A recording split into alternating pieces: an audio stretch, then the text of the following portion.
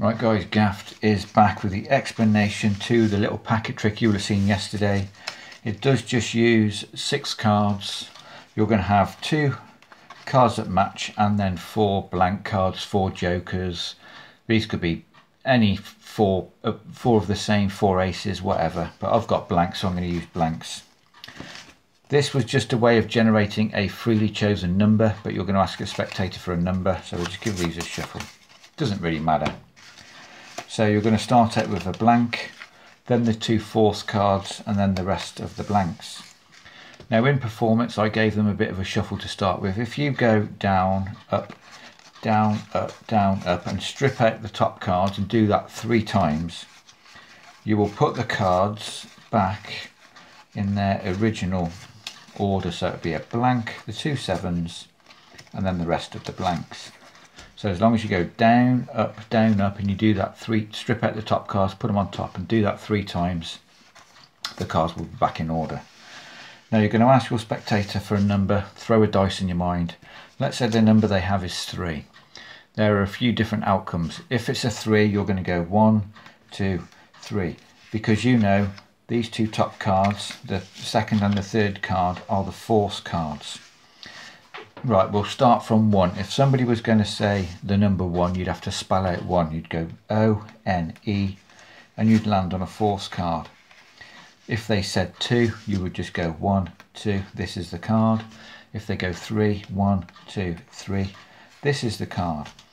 If they go four, you'll count from this side. One, two, three, four. If they go five, you'll go one, two, three, four, five. And if they say 6, you'll just count S-I-X.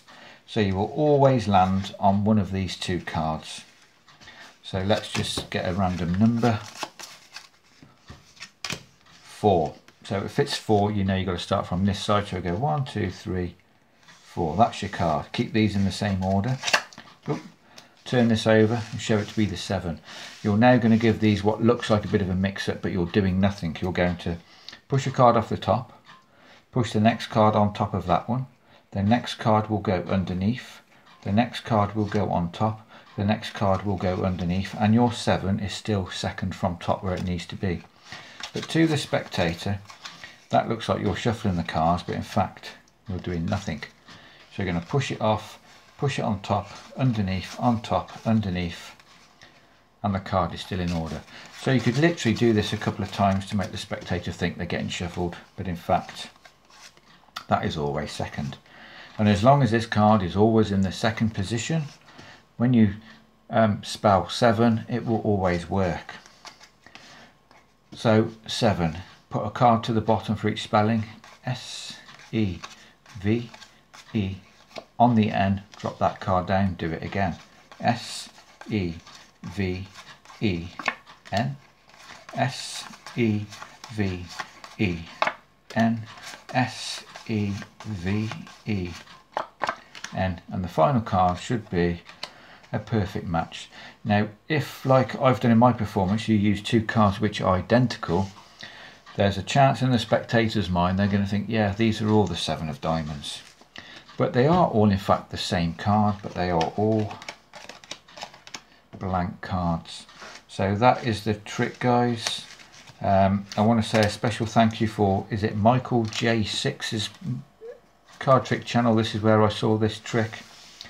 He took the cards out of a deck and used the four aces for these blank cards but I do love my packet tricks and this would fit perfectly as a little packet trick because I can get the cards all set up stick them in my little card sleeve, stick this in my wallet and it's a great little trick to take anywhere. So that is it guys, make sure to smash the like button, post notifications on and come back tomorrow for another card trick. Cheers.